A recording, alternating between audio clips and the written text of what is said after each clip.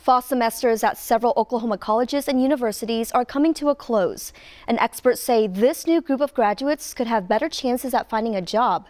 News on 6's Johnny Resendez has won how the job market is looking now compared to last year. 2020 grads were and still are facing an uphill battle, but the good news for them and 2021 grads is that experts say the job market is expected to make a recovery.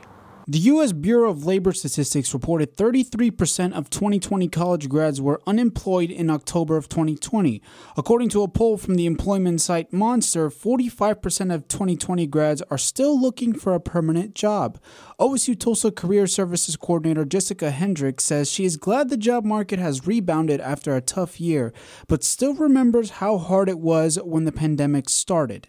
There's, there was just a lot of um, kind of feeling helpless and that you were giving advice, but you didn't really know if that advice was going to be helpful.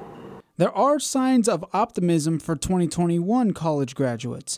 A study from the National Association of Colleges and Employers found that employers are expected to hire 7.2% more 2021 grads than 2020 grads. Kevin Coleman is a senior at OSU Tulsa who has already secured a job before graduation. He says if it wasn't for him utilizing all of his resources, he might have still been deep in the job hunt.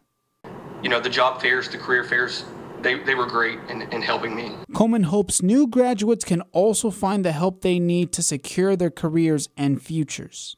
There's so many things within the community here in Tulsa that, that can help you prepare for a job interview, um, prepare for jobs, and help you find jobs. So. And the National Association of Colleges and Employers also say they plan to hire nearly 27% more class of 2022 grads than class of 2021 grads. In Tulsa, Johnny Resendez, Oklahoma's Own, News on 6.